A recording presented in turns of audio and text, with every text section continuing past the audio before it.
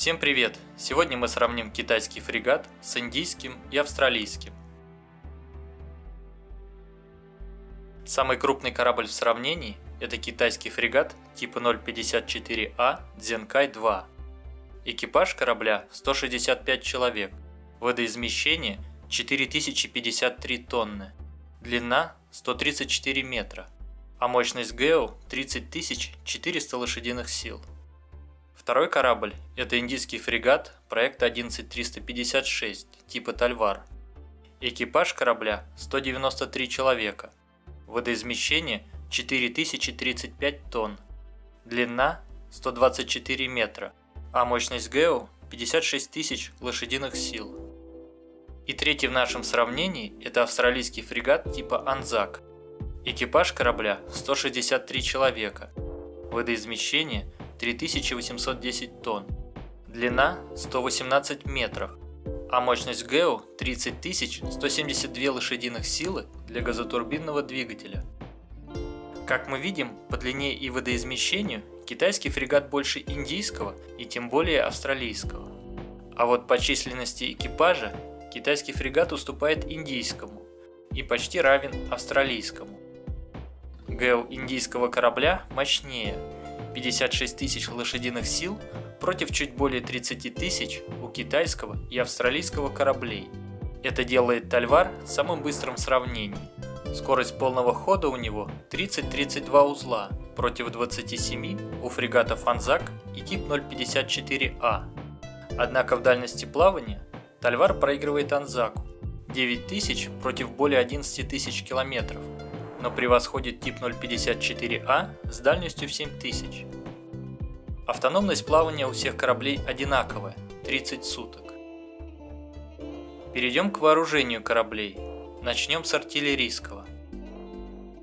На фрегате типа 054А установлена 76 миллиметровая универсальная корабельная арт-установка HPJ-26, китайский вариант советской АК-176. Она уступает по дальности стрельбы 100 миллиметровой арт-установки А190Э Тальвара 15,7 против 20 километров.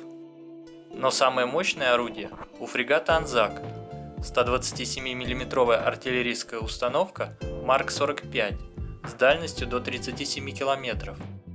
Скорострельность Марк-45 до 20 выстрелов в минуту против 80 у А190Э и до 130 у HPJ-26.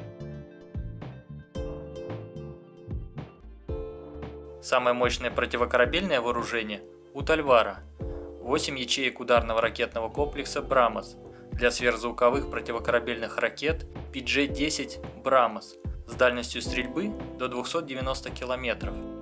Правда, на первых трех фрегатах установлен ракетный комплекс «Клаб-Н», но после модернизации все тальвары получат Брамос. На фрегате типа 054А установлены две четырехконтейнерные наклонные пусковые установки на 8 противокорабельных ракет YJ-83 с дальностью до 180 км.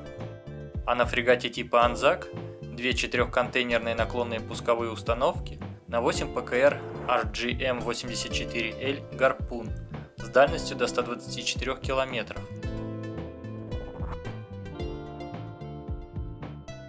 Самый мощный зенитно-ракетный комплекс у фрегата типа «Анзак».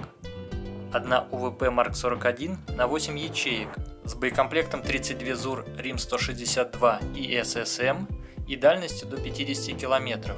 Также на корабле зарезервировано место для второй УВП Марк-41. На фрегате «Тальвар» установлена однобалочная пусковая установка ЗРК «Штиль-1» с боекомплектом в 24 ЗУР и дальностью до 45-50 км.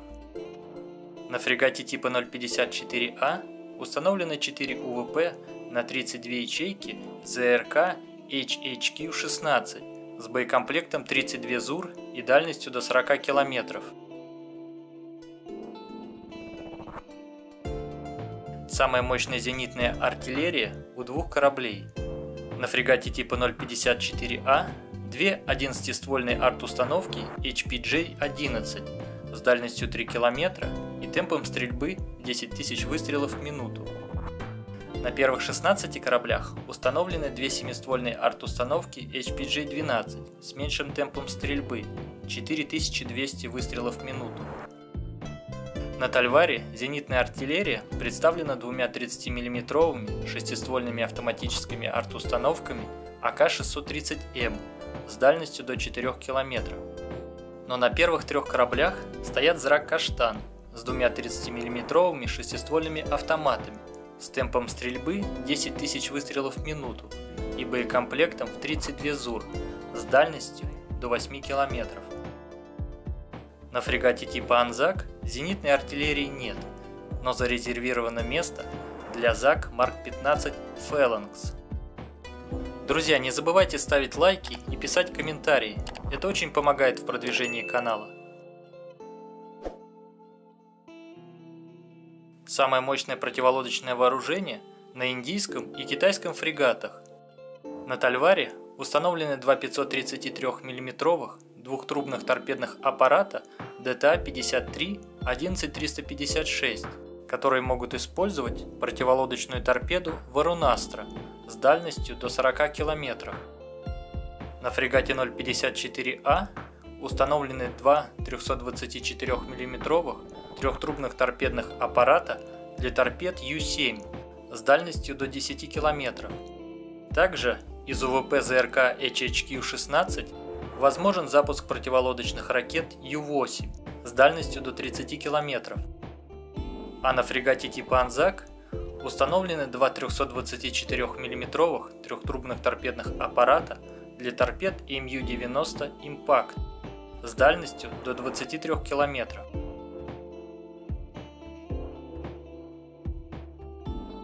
Кроме того, в дополнение к торпедным аппаратам на фрегате типа Тальвар установлен 12-ствольный противолодочный бомбомет РБУ-6000 с дальностью до 5,8 км. А на фрегате 054А два шестиствольных противолодочных бомбомета с дальностью до 3,7.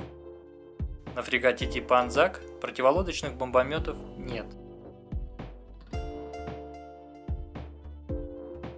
На всех фрегатах есть вертолетная площадка и ангар. На китайском фрегате для вертолета К-28 максимальной взлетной массой около 12 тонн или легкого многоцелевого вертолета Z-9C. На индийском фрегате для вертолета К-28, К-31 или легкого Дхрув. А на австралийском для вертолета MH-60R максимальной взлетной массой около 10 тонн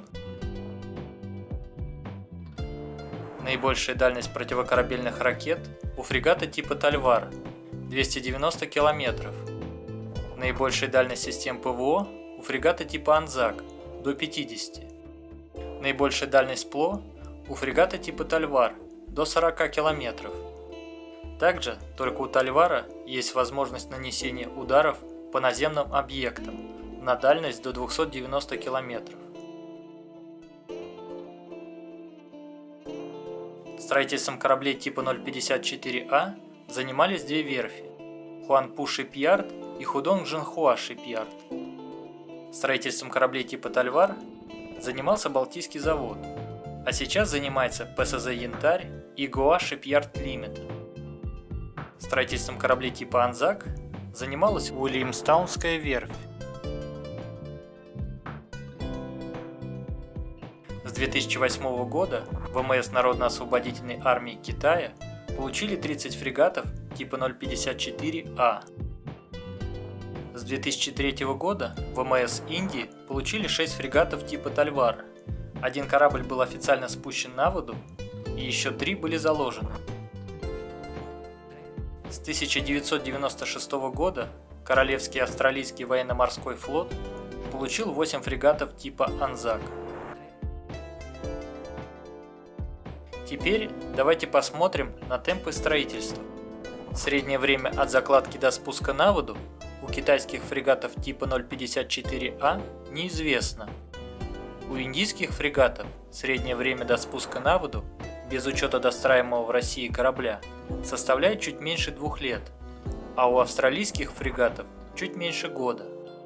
Наименьшее среднее время от спуска на воду до передачи флоту у китайских фрегатов чуть больше года, у индийских и австралийских кораблей около двух с половиной лет.